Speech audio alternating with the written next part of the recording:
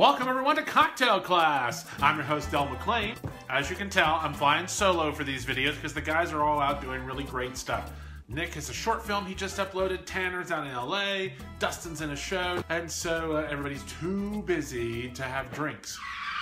I, I just said that. I just said that out loud, if you can imagine. Too busy to have a cocktail.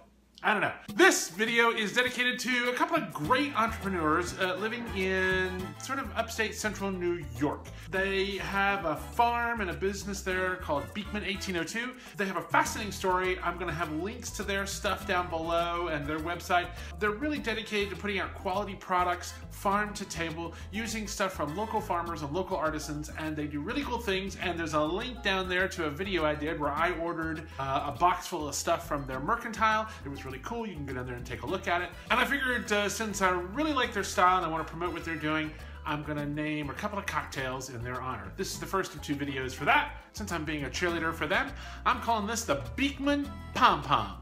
First up, one ounce of whipped cream vodka. One ounce of pomegranate liqueur. And finally, one ounce of apple cider. Now, don't judge me because this isn't local apple cider. I don't have access to that. But, um, but if you have access to a locally pressed apple cider, it would be awesome with that. Those three ingredients into the shaker, locked and loaded, and it's time for the shaker dance.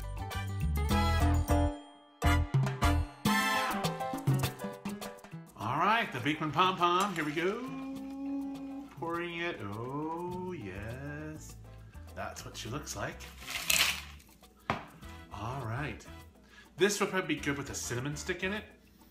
It smells great. Let's give it a taste. Oh, yes. Oh, yes, that's nice. Now, you know, I was kind of thinking this was autumn flavors, but can I just tell you how good this would be on, on like summertime on the porch? It's kind of sippy. Oh, yeah, that's good. Something else that's always good is people helping people. And there's an organization called the North Texas Food Bank. Yes, the North Texas Food Bank. There's a link down below. Your $1 donation can provide three nutritious meals to a child, a disabled person, or a senior citizen who needs something good to eat. Won't you consider donating? Go to the link down below. Yum! Good job. That's right. Link right here on the cocktail glass to go to the video that I made about buying some stuff from the Beekman Mercantile. Um, or you can link right here to go to the other cocktail I made in, uh, in honor of the Beekman guys. We'll see you later. Bye.